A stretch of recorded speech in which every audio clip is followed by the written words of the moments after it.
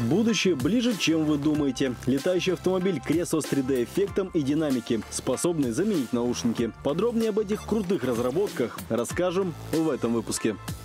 Такой Кадиллак не снился Моргенштерну. Американская автомобильная корпорация представила виртуальную модель летающей машины Cadillac F-Tol. Транспортное средство представляет собой персональный, самоуправляемый дрон, который поднимается в воздух благодаря аккумуляторной батарее и четырем винтам. Летательный аппарат может передвигаться со скоростью до 90 км в час, перевозить одного пассажира, совершать вертикальный взлет и посадку. Чтобы это было проще делать, разработчики спроектировали переднюю часть авто полностью прозрачной. Необычную концепцию транспорта создатели назвали дословно переосмысление будущего личного транспорта.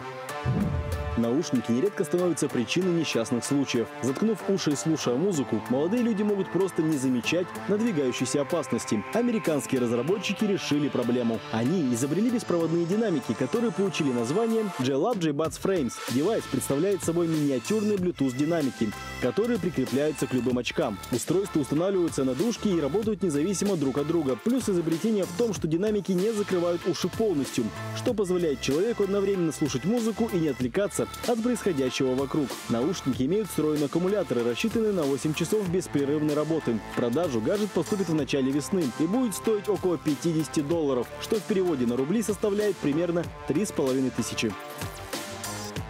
Делаю время, потехи час, но в кресле, которое изобрели американские IT-инженеры. На потеху тратить можно гораздо больше времени. Представляем вашему вниманию Razer Project Brooklyn – кресло будущего для геймеров. Главная особенность изобретения – встроенный панорамный дисплей, который складывается, когда не используется. Благодаря экрану никакие 3D-очки не нужны. Эффект полного погружения в виртуальную реальность достигается и так. Кресло имеет складные подлокотники и столик, чтобы играть можно было с комфортом, пользоваться мышкой, клавиатурой или гейм геймпадом. Важный момент. Кресло сделано с учетом анатомических особенностей позвоночника. Даже при длительном использовании не возникает чувства дискомфорта в спине.